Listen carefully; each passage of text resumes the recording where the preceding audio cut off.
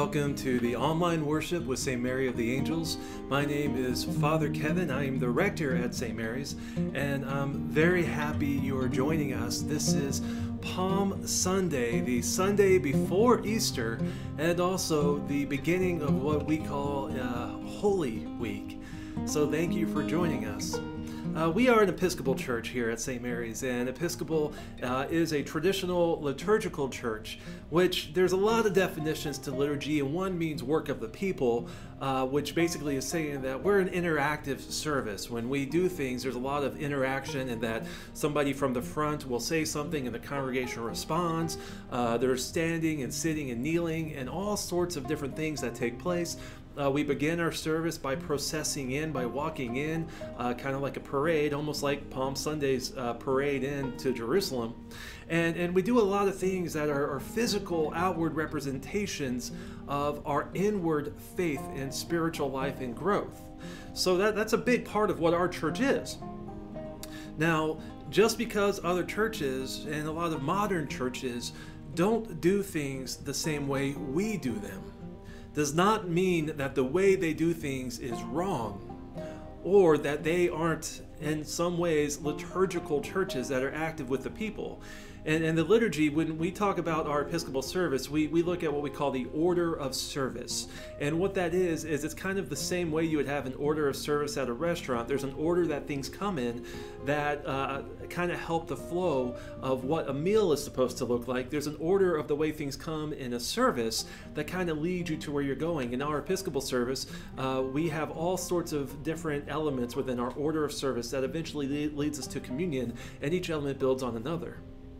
So we begin our services with, with procession in and a salutation, which is a greeting and a blessing, and we kind of have like our way of saying, let the service begin, which in a way is like a call to worship a lot of modern churches that don't really follow our tradition in the Episcopal Church or the Roman Catholic Church or some Methodist or Presbyterian churches, they still have a liturgy. They still have a way to kind of gather people together and to bring them through a service to take them beginning to end. And it will it will look different than ours, but it doesn't mean that it's not as good. It just means it's different. And it is all all designed to glorify God or at least it should be.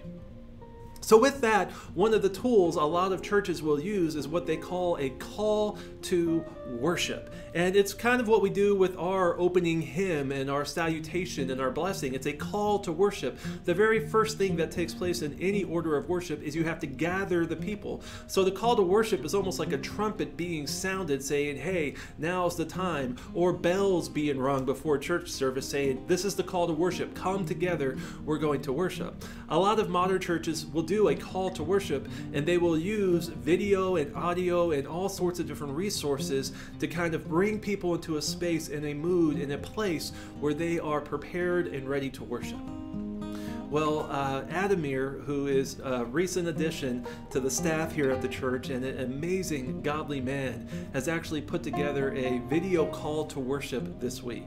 So we're going to play it, but the thing that I love about it, that Adamir did with it, is he put together a video that absolutely shows that, especially on this Palm Sunday, that the church is not, nor should it be limited to the Episcopal branch of the Jesus movement, or the Roman Catholic branch, or the Presbyterian branch, or the non denominational, or the Pentecostal branch of the Jesus movement. That whatever the branch is, we are all part of the same tree, and that is to be the body of Christ. So the call to worship that Adamir made, I think, does an amazing job of showing all types of people in God's creation and all types of worship and how all of the people and all of the types of worship come together to serve one God. So please do take a moment as we allow the work, the gift that Adamir has given us to call you to worship. Everything that I've breath, praise the Lord everything that I breath, praise the Lord. If I have breath, qualified to praise. If you have breath, you're still qualified to praise. The trees can praise it. Have breath, still qualified to praise. On a good day, praise. On a bad day, praise. On the mountain, praise. In the valley, praise. When you're feeling good, praise. When you're feeling sick in your body, praise. Yah,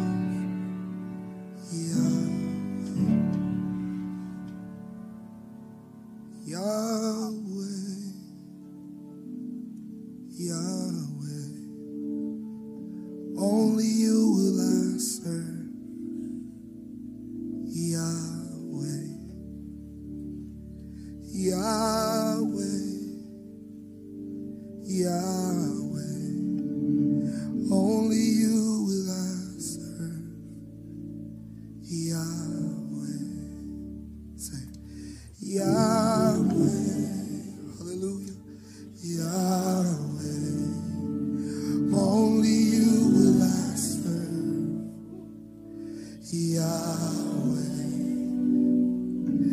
Yahweh,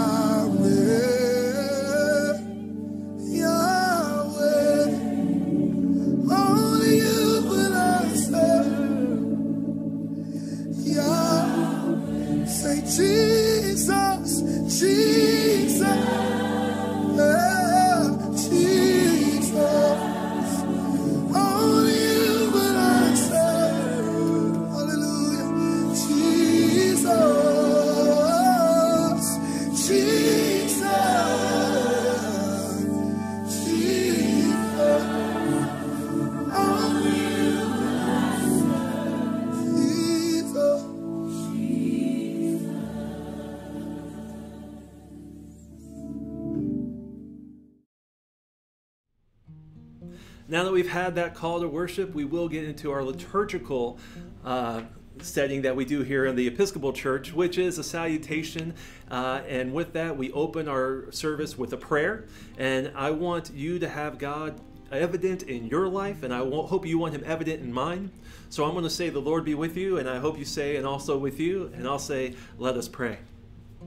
Almighty and ever living God, in your tender love for the human race, you sent your Son, our Savior, Jesus Christ, to take upon him our nature and to suffer death upon the cross, giving us the example of his great humility. Mercifully grant that we may walk in the way of his suffering and also share in his resurrection. Through Jesus Christ our Lord, who lives and reigns with you and the Holy Spirit, one God, forever and ever. Amen. There's some very cool traditions in the church and, and things that we do. And one of the things we do is this being Palm Sunday, we're going to read the Passion of our Lord Jesus Christ. Now, the Passion is basically uh, what we call the final movements, the final days of Jesus' life before death on the cross. So, the Passion is everything that leads up to that. We call it the Passion because it's a representation of his passion. And it begins on Palm Sunday. It begins with his triumphant entry into Jerusalem, even though the people there didn't really understand what they were doing. So, one of the traditions of the church is to decorate using palms for Palm Sunday to kind of recreate that, that atmosphere of Jerusalem to help us to remember and focus in on Jesus coming into our lives. But unfortunately, just like the people in Jerusalem back then, even people today misunderstand who and what Jesus is and what he does in our life. And we'll talk about that and we'll read the Passion. But I want to show you one of our traditions. This is a cross. And this cross is actually made out of a piece of palm. And the palm is folded into the cross shape. And we actually got these uh, from a ministry in Africa. Uh, Africa. So, and I don't know which country it's in, but somewhere in Africa, in a country in Africa. And it, it showed me when I ordered it, but I forgot. Uh, a, a wonderful group of people created these palm crosses. And we passed these out on Palm Sunday. And the hope is that people will keep them through the year as a remembrance of what Christ has done for them in their lives. But a tradition a lot of people don't know about is we begin the season of Lent with a service on Ash Wednesday. And on Ash Wednesday, we take ashes, and as a priest, I'll rub the ashes and I'll put a cross on somebody's head and say, Remember, you are dust, and to dust you shall return. Well, one of the cool traditions in the church a lot of people don't know about is where we get those ashes from. What we do is we actually uh, ask people to bring the cross back, the palm cross, the following year, and then we burn that palm cross and muddle it and use that as the ashes to begin our Lenten season. There are so many neat traditions that we do in our church. So, thank you for worshiping with us this morning and I am going to get to the passion and we're going to talk a little bit about it. But before then, please do enjoy this hymn.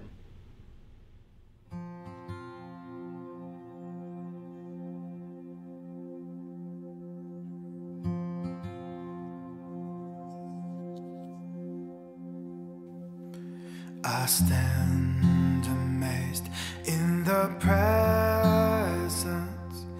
of Jesus the Nazarene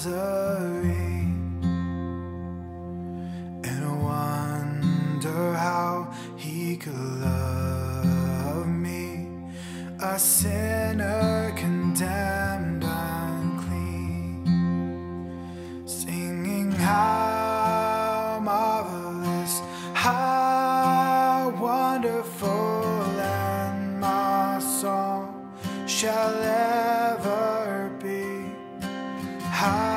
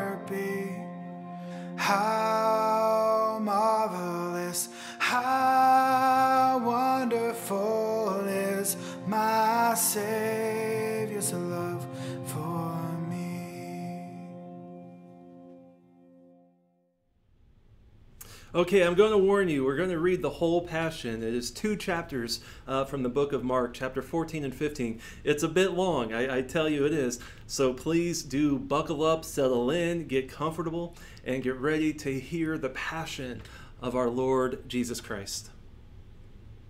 It was two days before the Passover and the festival of unleavened bread. The chief priests and the scribes were looking for a way to arrest Jesus by stealth and kill him. For they said, Not during the festival, or there may be a riot among the people.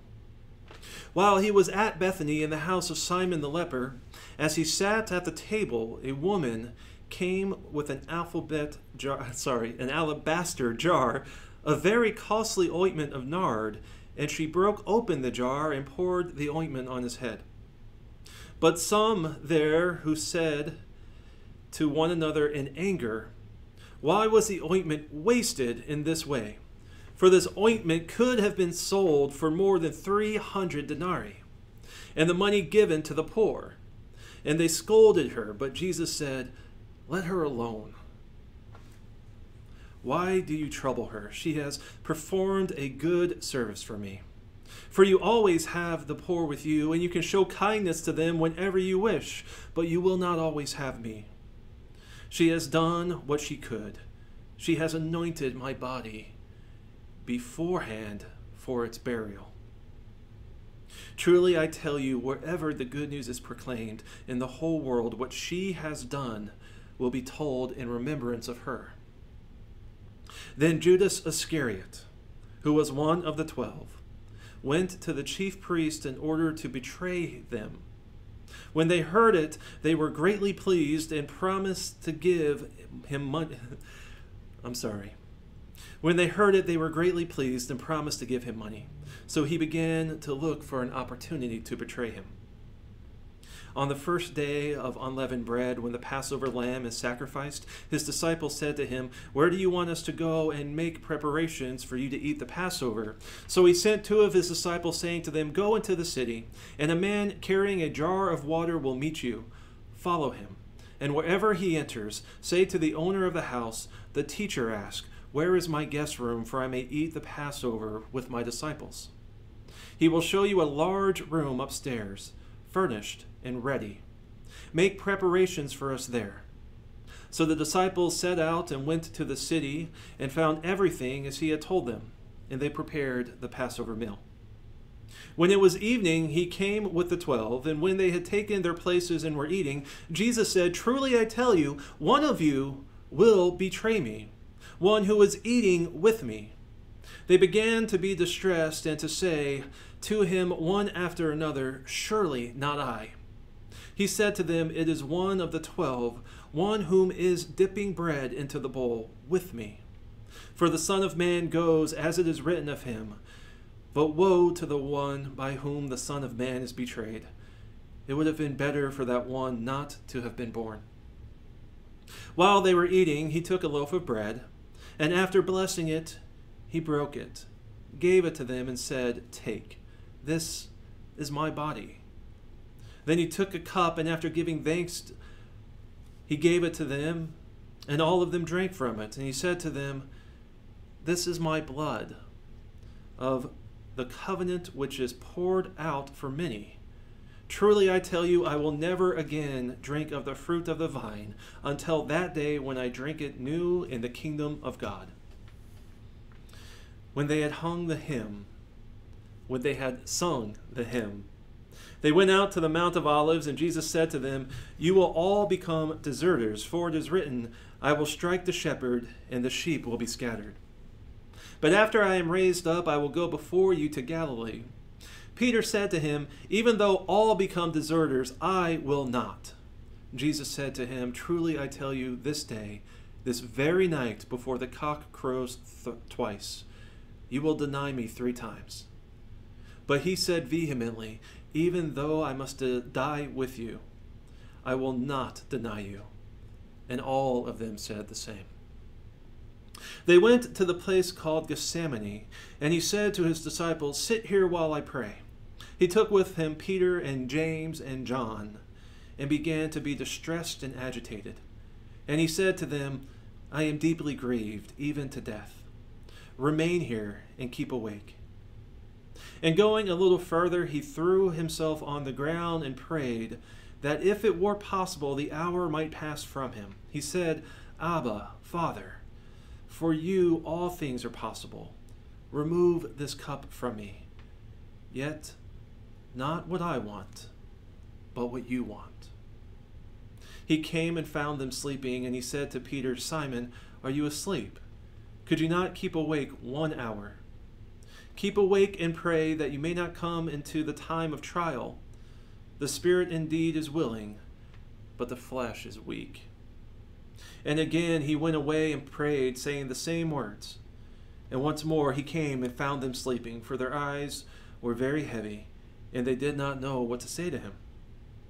He came a third time and said to them, Are you still sleeping and taking your rest? Enough, the hour has come.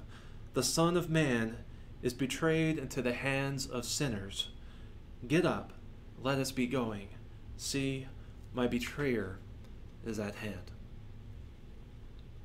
Immediately while he was still speaking, Judas, one of the twelve, arrived, and with him there was a crowd with swords and clubs from the chief priests, the scribes, and the elders. Now the betrayer had given them a sign, saying, The one I will kiss is the man. Arrest him and lead him away under guard. So when he came, he went up to him at once and said, Rabbi, and kissed him. Then they laid hands on him and arrested him. But one of those who stood near draw, drew his sword and struck the slave of the high priest, cutting off his ear. Then Jesus said to them, Have you come out with swords and clubs to arrest me as though I were a bandit? Day after day I was with you in the temple teaching, and you did not arrest me. But let the scriptures be fulfilled. All of them deserted him and fled. A certain young man was following him, wearing nothing but a linen cloth they caught hold of him, but he left the linen cloth and ran off naked. They took Jesus to the high priest and all the chief priests and elders, and the scribes were assembled. Peter had followed him at a distance, right into the courtyard of the high priest, and he was sitting with the guards, warming himself at the fire. Now the chief priests and the whole council were looking for testimony against Jesus to put him to death, but they found none for many gave false testimony against him, and their testimony did not agree. Some stood up and gave false testimony against him, saying, We heard him say, I will destroy this temple that is made with hands, and in three days I will build another, not made with hands. But even on this point, their testimony did not agree. Then the high priest stood up before them and asked Jesus, Have you no answer? What is it that they testify against you? But he was silent and did not answer. Again, the high priest asked him, Are you the Messiah, the Son of the Blessed One? Jesus said, I am. And you will see the Son of Man seated at the right hand of the power, and coming with the clouds of heaven. Then the high priest tore his clothes and said, Why do we still need witnesses? You have heard this blasphemy. What is your decision? All of them condemned him as deserving death. Some began to spit on him, to blindfold him, and to strike him, saying to him, Prophesy. The guards also took him over and beat him. While Peter was below in the courtyard, one of the servant girls of the high priest came by. When she saw Peter warming himself, she stared at him and said, You also were with Jesus, the man from Nazareth. But he denied it, saying, I do not know or understand what you are talking about. And he went out into the forecourt. Then the cock crowed. And the servant girl, on seeing him, began again to say to the bystanders, This man is one of them. But again he denied it. Then after a little while, the bystanders again said to Peter, Certainly you are one of them, for you are a Galilean. But he began to curse, and he swore an oath, I do not know this man you are talking about. At that moment, the cock crowed for the second time. Then Peter remembered that Jesus had said to him, Before the cock crows twice, you will deny me three times. And he broke down and wept. As soon as it was morning, the chief priests held a consultation with the elders and scribes and the whole council. They bound Jesus, led him away, and handed him over to Pilate. Pilate asked him, Are you the king of the Jews? He answered him, You say so. Then the chief priests accused him of many things. Pilate asked him again, Have you no answer? See how many charges they bring against you. But Jesus made no further reply, so that Pilate was amazed. Now at the festival he used to release a prisoner for them, anyone for whom they asked. Now a man called Barabbas was in prison with the rebels who had committed murder during the insurrection. So the crowd came and began to ask Pilate to do for them according to his custom. Then he answered them, Do you want me to release for you the king of the Jews? For he realized that it was out of jealousy that the chief priest had handed him over. But the chief priests stirred up the crowd to have him release Barabbas for them instead. Pilate spoke to them again. Then what do you wish me to do with the man you call the king of the Jews? They shouted back, Crucify him. Pilate asked them why, what evil has he done? But they shouted all the more, Crucify him. So Pilate, wishing to satisfy the crowd, released Barabbas for them, and after flogging Jesus, he handed him over to be crucified. Then the soldiers led him into the courtyard of the place that is the governor's headquarters, and they called together the whole cohort. And they clothed him in a purple cloak, and after twisting some thorns into a crown, they put it on him, and they began saluting him, Hail, King of the Jews! They struck his head with a reed, spat upon him, and knelt down in homage to him. After mocking him, they stripped him of the purple cloak and put his own clothes on him. Then they led him out to crucify him.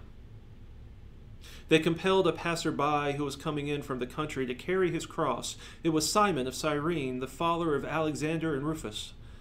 Then they brought Jesus to the place called Golgotha, which means place of the skull. And they offered him wine mixed with myrrh, but he did not take it. And they crucified him. And dividing his clothes among them, casting lots to decide what each should take. It was nine o'clock in the morning when they crucified him. The inscription of the charge against him read, The King of the Jews. And with him they crucified two bandits, one on his right and one on his left. Those who passed by derided him, shaking their heads and saying, Aha, you who would destroy the temple and build it in three days, save yourself and come down from the cross. In the same way, the chief priests, along with the scribes, were also mocking him among themselves and saying, He saved others, he cannot save himself. Let the Messiah, the King of Israel, come down from the cross now, so that we may see and believe. Those who were crucified with him also taunted him. When it was noon, darkness came over the whole land until three in the afternoon. At three o'clock, Jesus cried out with a loud voice, Eloi, Eloi, lema sabachthani, which means, My God, my God, why have you forsaken me? When some of the bystanders heard it, they said, Listen, he is calling for Elijah. And someone ran, filled a sponge with sour wine, and put it on a stick, and gave it to him to drink, saying, Wait, let us see whether Elijah will come to take him down. Then Jesus gave a loud cry and breathed his last. And the curtain of the temple was torn in two from top to bottom. Now, when the centurion who stood facing him saw that in this way he breathed his last, he said, Truly, this man was God's son. There were also women looking on from a distance. Among them were Mary Magdalene and Mary, the mother of James the younger, and of Joseph, and Salome. These used to follow him and provided for him when he was in Galilee, and there were many other women who had come up with him to Jerusalem. When evening had come, and since it was the day of preparation, that is, the day before the Sabbath, Joseph of Arimathea, a respected member of the council, who was also himself waiting expectantly for the kingdom of God, went boldly to Pilate and asked for the body of Jesus. Then Pilate wondered if he were already dead. And summoning the centurion, he asked him whether he had been dead for some time.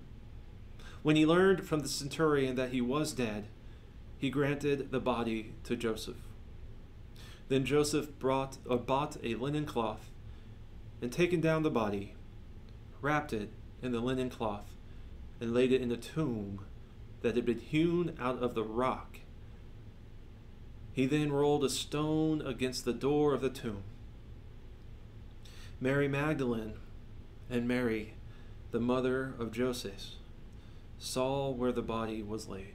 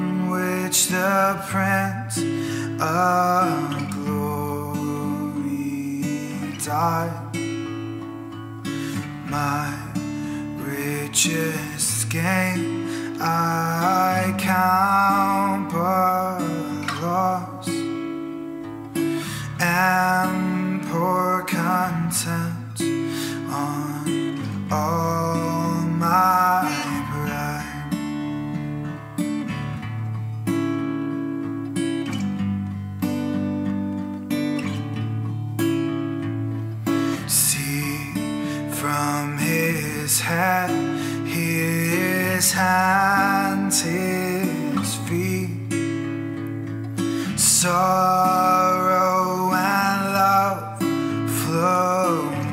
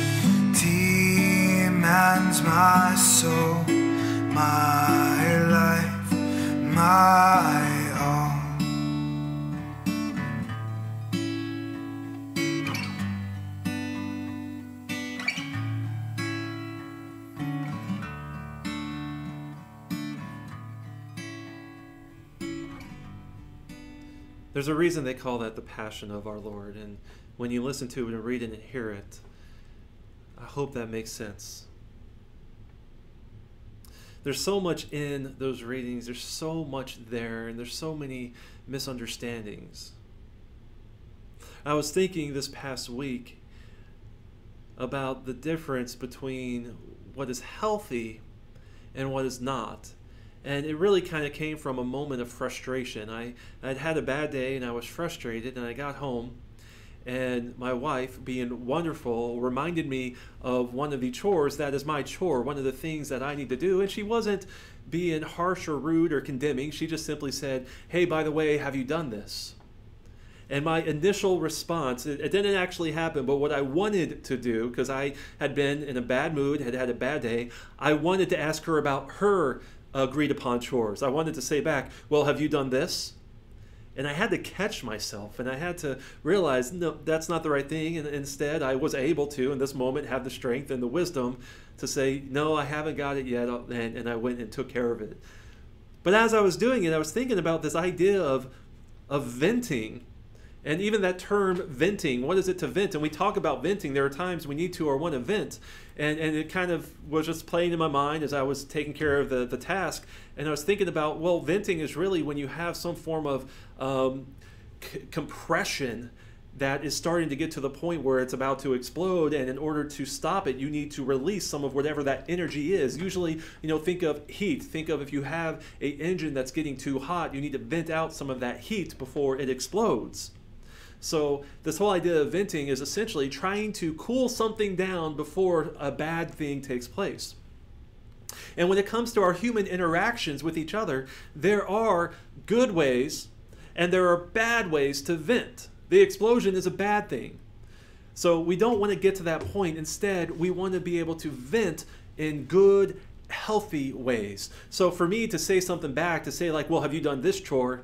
That's that's essentially being passive aggressive, and that is a very unhealthy way to vent. And it's not being honest and truthful. And I need to instead try to remember what it is I'm doing and why. And instead of lashing out and venting in an unhealthy way, I need to look for the healthy way, which is to be honest and to talk and to, to share and to be considerate and to recognize my own faults and flaws and where I'm at.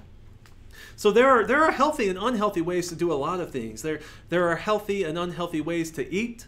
There are healthy and unhealthy ways to uh, to um, exercise. There are healthy and unhealthy ways to have fun. And I don't really have to give you examples of them because I'm pretty sure you know what the examples of healthy and unhealthy are.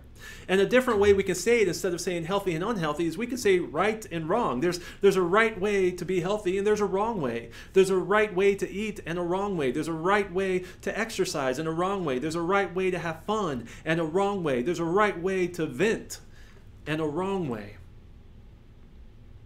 And we have to look for what that right way is. Because in that right way, there is the healthy way.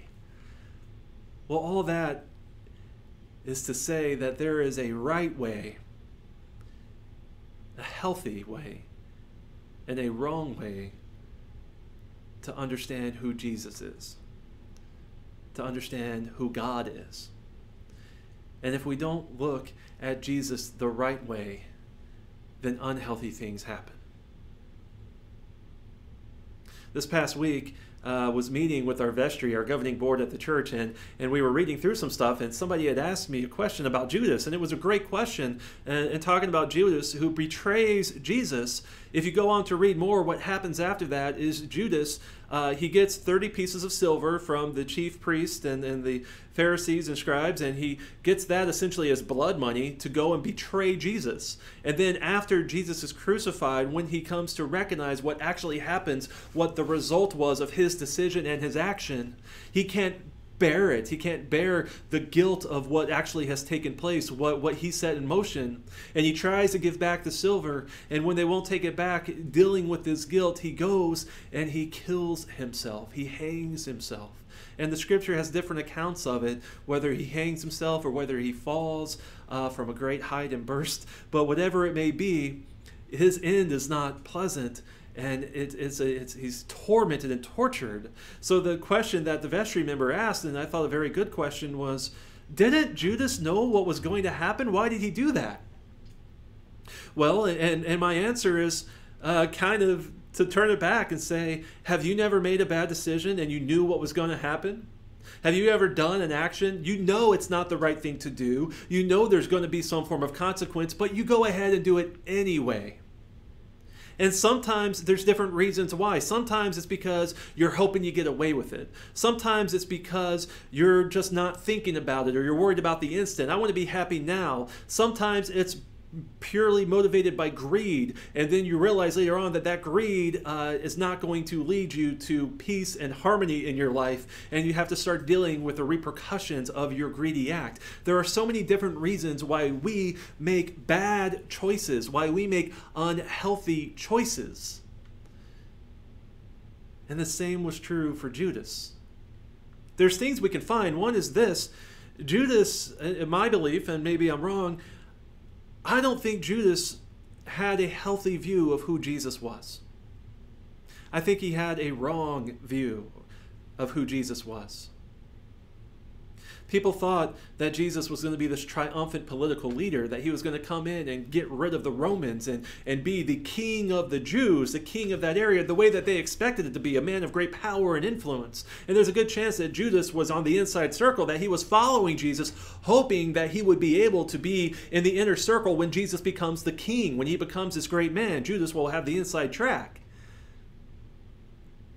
And now Judas or now Jesus is saying that's not what's going to happen. What's going to happen is I'm going to die. And Judas sees that as weakness instead of strength. And he starts not liking what Jesus is saying.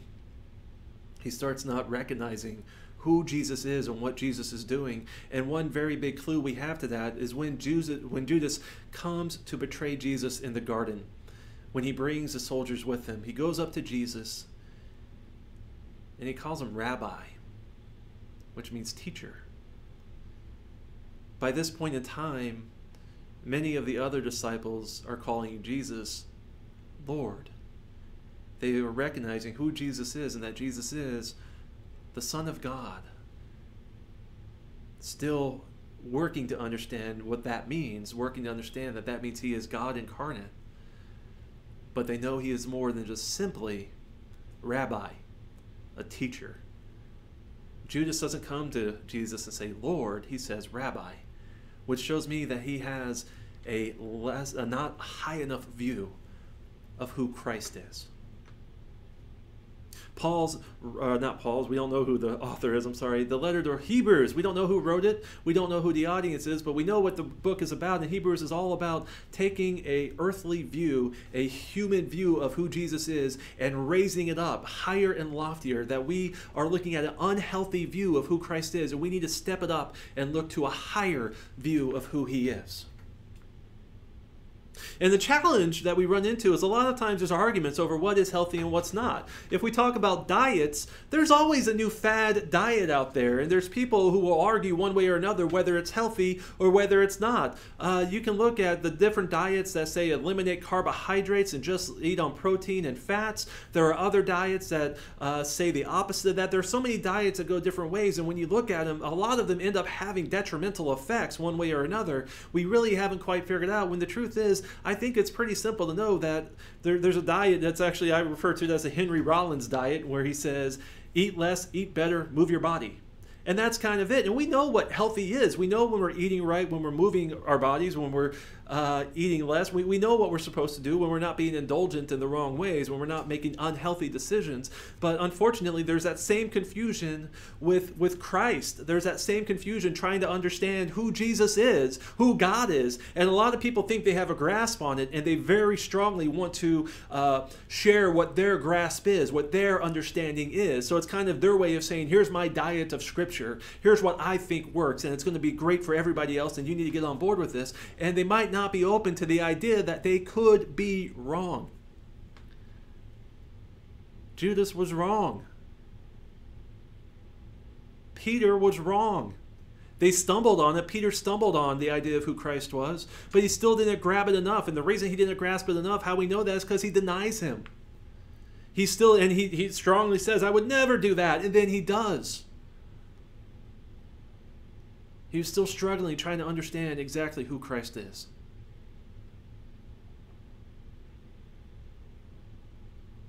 I love the. Uh,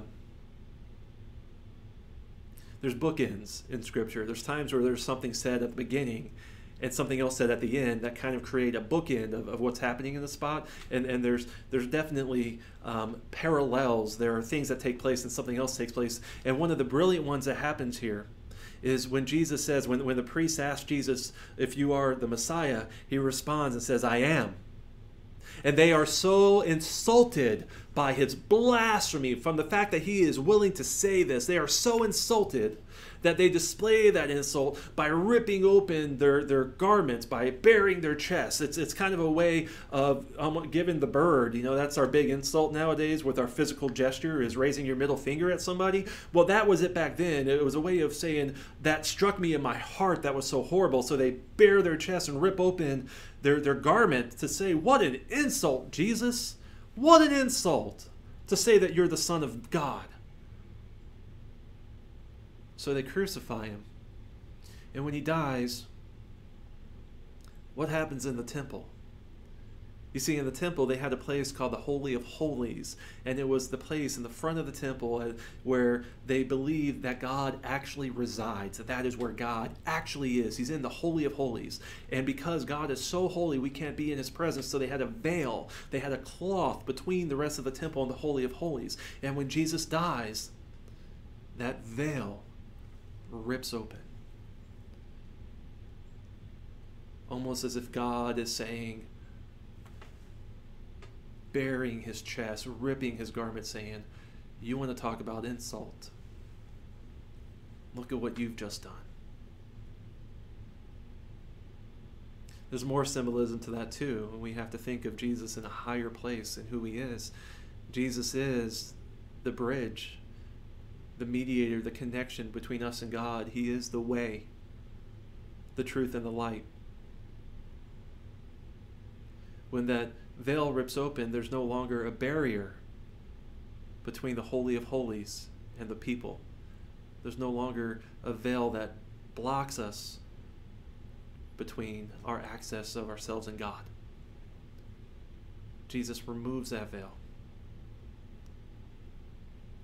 He becomes our great mediator, our great high priest, our one sacrifice. Here's the problem we still don't know it. We still don't understand who he is and what he did.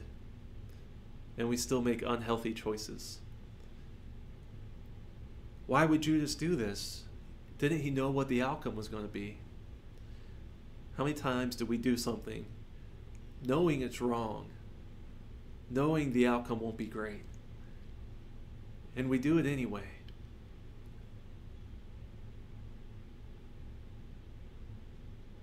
we are called to try to live righteously, rightly, healthy lives. But when we fall short of that, and we do, and I do, and you do, when we fall short of that, I am so comforted by a high view of Christ, of knowing that He's not just simply a teacher, but He is God incarnate, God made man who fulfilled the purpose of eliminating the barrier between us and God, of creating a way for us when we fall short through His perfection and His sacrifice to be able to be embraced by God. I want to invite you to join us for an observation of Holy Week.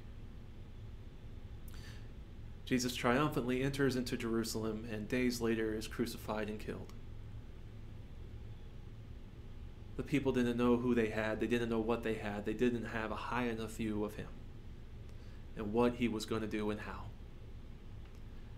Let us take time this week to remember that and to look for ways in our own lives that we are not giving him a high enough view. And let's do that in the name of the Father and Son and Holy Spirit. Amen.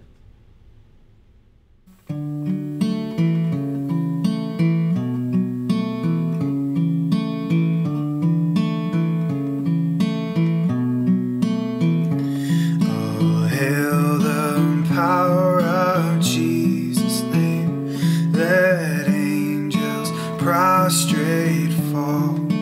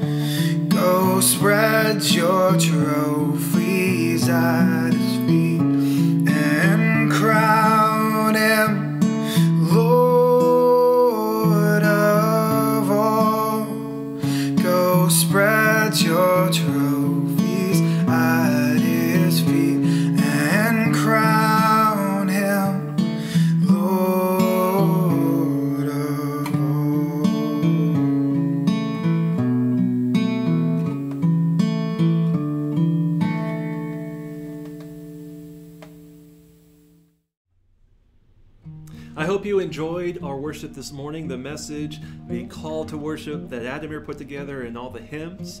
I hope you uh, have found it to be enlightening, uplifting, and enriching.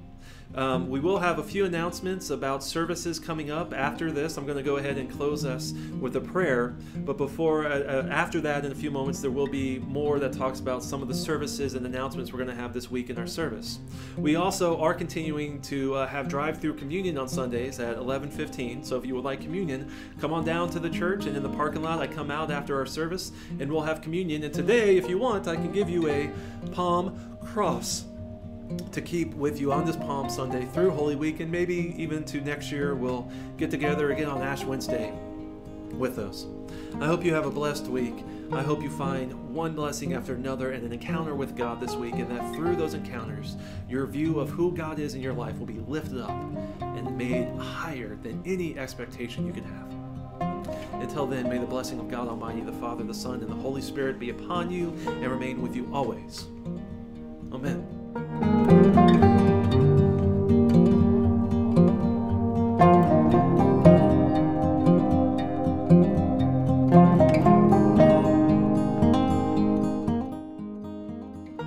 right, so we are having Holy Week services this week. We are going to have in person services. We'll have a Maundy, Thursday service. We will have a Good Friday service. We will have Stations of the Cross on Good Friday, too. And we are going to have our Easter Vigil on Saturday evening. Uh, so, all those services, I'm going to put the times for them up so you can see them and where they are. They are in person services. We will also have different online options available this week as well. So we're going to have a couple different service options for you online. Uh, we'll have an online version of Stations of the Cross, we'll have an online version of the Easter Vigil, and we are actually also going to have an online option for the Vigil. So the Vigil is this on Maundy, Thursday. On, on Thursday, we do a service, and at the end of the service, it, it's supposed to represent the Last Supper at that service, and usually we do the washing of feet. We're not doing that this year, uh, but usually we do. And then at the end of the service, we kind of do something that's like a representation of the disciples going into the garden. Uh, and the whole thing that happens in the garden is the disciples, you know, Jesus goes to pray, the disciples fall asleep. And Jesus says, You couldn't stay awake with me even one hour?